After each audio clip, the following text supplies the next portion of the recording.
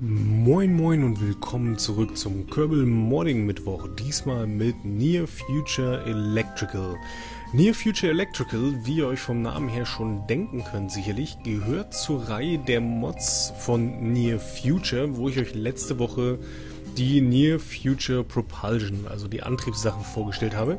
Die habe ich auch immer noch installiert und wenn ihr euch recht erinnert, war es ja letzte Woche so, dass wenn wir diese futuristischen sonst was irgendwie Antriebe benutzt haben, haben die alle einen unheimlich hohen Stromverbrauch. Und jetzt ratet mal, worum es in Near Future Electrical geht. Genau, um Strom. Und zwar gibt's da einige Sachen, die man zusätzlich bekommt. Ich zeige euch die mal kurz und dann gehen wir nach oben ins Weltall am praktischen Beispiel. Und zwar bekommt ihr erstmal ganz klassisch noch andere Formen von Battery Tanks. Also das geht von so einem großen flachen über einen etwas dickeren im 2,5 Meter Format über so einen kleinen runden, den man auch seitlich hier irgendwie ranpappen kann. Also das geht auch irgendwie so. Hier geht das jetzt nicht, aber am großen Pot ging's. Und dann gibt es noch den hier im praktischen 1,5 Meter Format. Und natürlich, last but not least, hier noch eine seitliche touchbare Batterien. Also viele, viele Batterien. Sieht alles sehr stock-like aus. Und ihr habt hier so Charge Amounts zwischen 10.000, 12.000, 2.800, 6.400 und 800 Electric Charge. Also hier könnt ihr jede Menge Strom noch reinpacken, ähm, um eben diese Antriebe auch mal zu füttern, wenn ihr sie gerade eben nicht ähm, ordentlich mit Strom versorgt bekommt. Dann gibt es Capacitors. Capacitors auf Deutsch übersetzt sind im Prinzip Kondensatoren. Der Trick dahinter ist, ihr habt hier eine Charge Rate, die liegt hier zum Beispiel bei 8 äh, Einheiten Strom pro Sekunde. Und ihr habt eine Maximum Discharge Rate von 80 Einheiten die Sekunde. Das heißt, ihr könnt so einen Capacitor hier irgendwie oder einen Kondensator halt anbringen, sieht auch ganz witzig aus, ähm, und dann Strom reinladen. Das passiert relativ langsam, eben mit der na, hier geblieben. Ja. Jetzt streikt er ein bisschen. So. so. Eben mit der Charge Rate, also die ist immer niedriger und ihr könnt dann an einem Moment entscheiden, ihr möchtet den Kondensator gerne entladen. Zum Beispiel, um irgendwie, wenn ihr negativ im Strom seid, dafür zu sorgen, dass ihr länger durchhaltet mit dem Strom, den ihr im Kondensator aufgeladen habt jeder, der einen Kondensator in echt kennt, dem ist das Prinzip klar. Für alle anderen, ich zeige es euch nachher einmal oben im Einsatz, dann wird es, glaube ich, klarer, was ich damit sagen möchte. So, die gibt es auch in verschiedenen Größenkategorien mit verschiedenen Discharge Rates. Also hier sind es dann 300, hier sind es 160, hier sind es dann schon 800 und last but not least sind es hier 3200 Electric Charge pro Sekunde.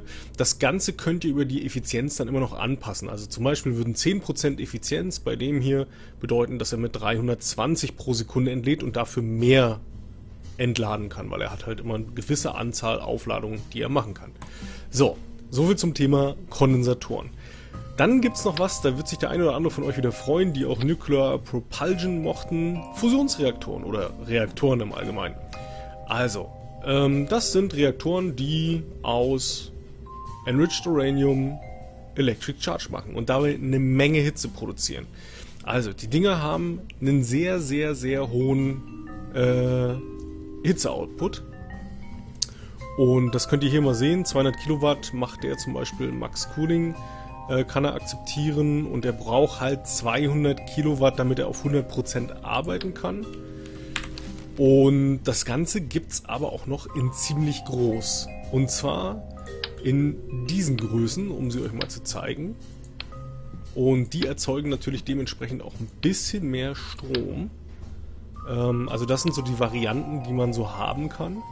Und für diese Varianten, die man da so haben kann, gibt es dann dementsprechend auch noch deutlich mehr Kühlleistung, die nötig ist. Also zum Beispiel der Excalibur hier muss mit 6000 Kilowatt Kühlleistung versehen werden, damit er auf 100% arbeiten kann. Sonst haben wir ein Problem. Wo ihr die Kühlleistung herbekommt, das ist quasi über die Radiator-Panels. Also wenn ihr hier mal guckt, die haben dann bei den Radiator Specs ein Core Heat Transfer von 250 Kilowatt zum Beispiel, der hier. Das heißt, der kann ein Core Heat, also der kann für 250 Kilowatt Hitze aus dem Kern eines Moduls nach außen transportieren.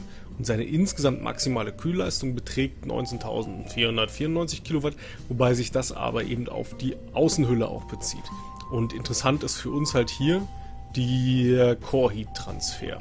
So. Witzig, der verbraucht natürlich auch noch Strom, wenn der ausgefahren ist. So, also, verschiedene Größen von Nukularreaktoren, mit denen wir Strom erzeugen können. Und zwar viel Strom. Also wenn ihr hier mal guckt, zum Beispiel der Excalibur, der macht uns mal eben... Hallo? Da. Der macht uns mal eben geschmeidig 3000 Electric Charge pro Sekunde. Das ist auf jeden Fall ordentlich, wenn er auf 100% läuft, aber der muss dann halt auch runtergekühlt werden. Von daher gar nicht so einfach. Ähm, es gibt hier noch ein RTG Nee, das ist der normale RTG, glaube ich. Das ist der normale RTG. Das ist der etwas größere RTG. Wird der zum Mod? Ich bin gerade unsicher. Ist der so reingepatcht worden? Weil Ionic, Symphonic, Protonic, Electronics. Was weiß ich. Ich glaube... Ich glaube, der gehört auch noch mit zum Mod. Da bin ich mir nicht ganz sicher.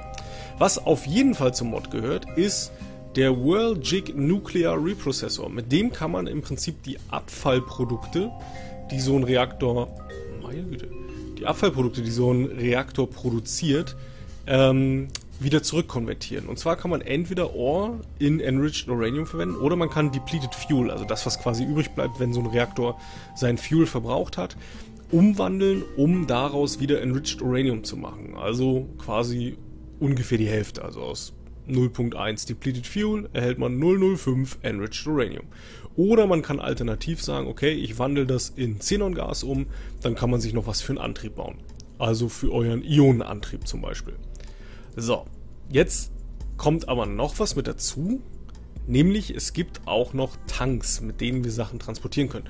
Und zwar die Nuclear Fuel Drums nennen die sich. Das sind spezielle Tanks, in denen ihr äh, Enriched Uranium und Depleted Fuel transportieren könnt. Weil ihr wollt ja, wenn ihr ein großes Raumschiff habt, Treibstoff mitnehmen. Ihr wollt aber auch das Depleted Fuel aufheben, weil man könnte es ja reprocessen, wenn ihr ein entsprechendes Gerät mitnehmt. Deshalb beide Storage-Arten gibt es, wie gesagt, auch nochmal in verschiedenen Größen. Es gibt den in groß und sehr flach. Ich räume hier mal ganz kurz ein bisschen auf, damit man das sehen kann. Es gibt ihn in so Menschengröße quasi, also so wie normale Kerbals halt damit umgehen können.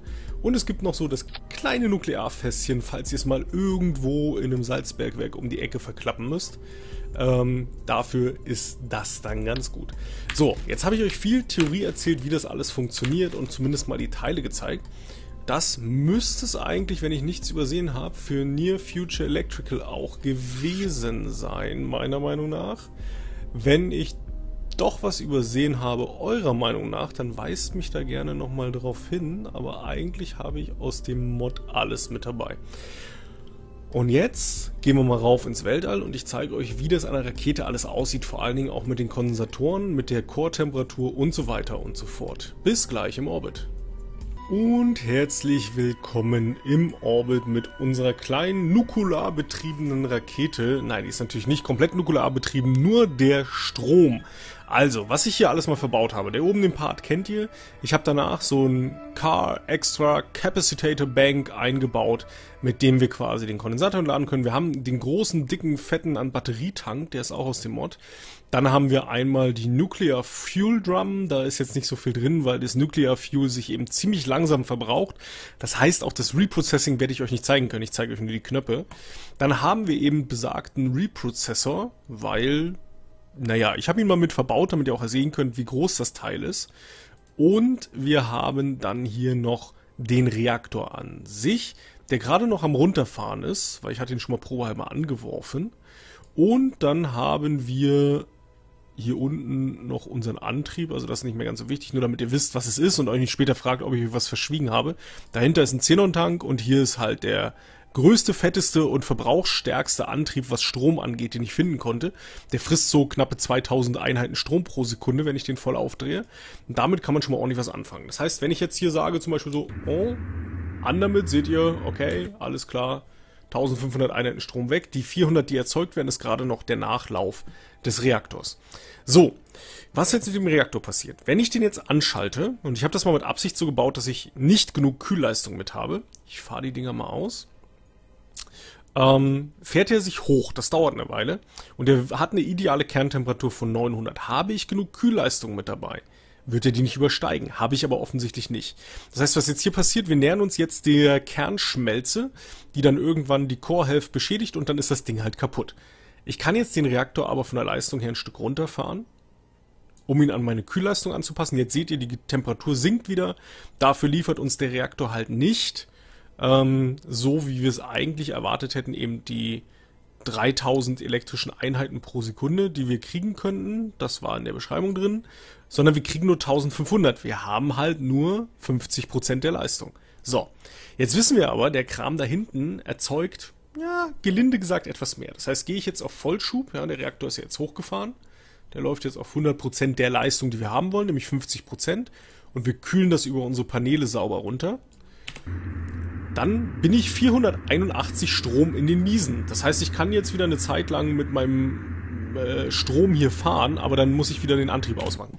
Das will ja keiner. Jetzt, jetzt kommt der große Clou. Der Kondensator braucht eine ganze Weile, bis er sich auflädt. Aber er hat jetzt 32.000 Einheiten Strom geladen, die ich entladen kann. Und jetzt haben wir gesagt, wenn wir voll aufdrehen, haben wir ein Minus von 481, also sage ich jetzt mal großzügig, wie ich bin, 482. Und jetzt können wir einfach sagen, wir ziehen unsere Discharge Rate so weit runter, dass wir in den Bereich kommen, wo wir die Entladung brauchen. Oh, oh, Oh, oh, weniger als 50 geht gar nicht. Schade, schade, schade. Na gut. Aber wir können das auf jeden Fall schon mal runterdrehen, weil wir brauchen nicht die Vollentladung. Und was ich jetzt machen kann, ist quasi über den Kapazitor dafür sorgen, dass wir länger durchhalten. Weil, was ich jetzt machen kann, ich kann einen Teil dessen, was ich an Energie verbrauche, mir aus dem Kondensator besorgen. Ich zeig's euch mal. Also, ich lasse jetzt hier erstmal meinen Strom ausbluten, weil ich möchte den Strom ja auch irgendwo speichern, den ich jetzt überschüssig schüssig generiere, weil ich werde, wenn ich ihn jetzt entlade, 1600 Einheiten produzieren. Nur 400 verbrauchen wir, es bleiben 1200 übrig pro Sekunde. Die möchte ich irgendwo reinladen können, so vollumfänglich wie möglich und das ist hier in die Batterie. Also kleinerer Kapazitor wäre in dem Falle wahrscheinlich sogar witziger gewesen. So, kurz bevor mir jetzt der Strom ausgeht, damit ich da noch die Möglichkeit habe, irgendwie gegen zu agieren, entlade ich jetzt den Kondensator und seht ihr, auf wundersame Art und Weise befüllen sich jetzt meine Batterien wieder auf, während sich mein Kondensator entlädt. Das funktioniert halt so lange, bis der Kondensator leer ist. Also ich kann das auch nicht wieder abschalten. Der entlädt sich jetzt komplett in die Batterien und in den Stromkreislauf. Das heißt, wir können jetzt deutlich länger unser Triebwerk laufen lassen. Und hätte ich eine gute Größe für den Kondensator ausgesucht, dann hätten wir das Ding wahrscheinlich sogar durchlaufen lassen können. So. Habe ich aber nicht, deshalb müssen wir jetzt damit leben. Und jetzt geht uns langsam wieder der Strom aus. Wir können aber damit jetzt enorm die Zeit strecken, in der wir einen Energieburst machen können. Also wir können für einen kurzen Moment sehr, sehr viel Energie erzeugen oder aus dem Kapazitor oder Kondensator rauslaufen lassen, während er jetzt erstmal, wie ihr hier seht, sehr, sehr, sehr lange braucht, um sich wieder aufzuladen. so, und mit diesen kleinen Hausmittelchen ist es jetzt dann doch schon um einiges einfacher, mit den großen Triebwerken auch mal irgendwo hinzudümpeln und da ein bisschen mehr Stress zu machen, weil mit den Standard Stromerzeugungsmöglichkeiten habt ihr einfach das große Problem, dass ihr euch mit Solarpanels totschmeißen müsst. Und Thema Solarpanels, auch da vielleicht wieder ein versteckter Spoiler, auch da gibt's noch was von Near Future, aber darüber werden wir dann beim nächsten Mal reden. Und ich zeige euch, wie man alternativ zu eben solchen Konstruktionen hier wie zum Beispiel dem Reaktor oder eben dem Kondensator, mit anderen Solarpanels auch noch mehr Strom erzeugen kann. Das kommt aber dann in der nächsten Woche. Ich kann nur sagen, vielen Dank fürs Zuschauen. Ich hoffe, ihr hattet Spaß an der Folge.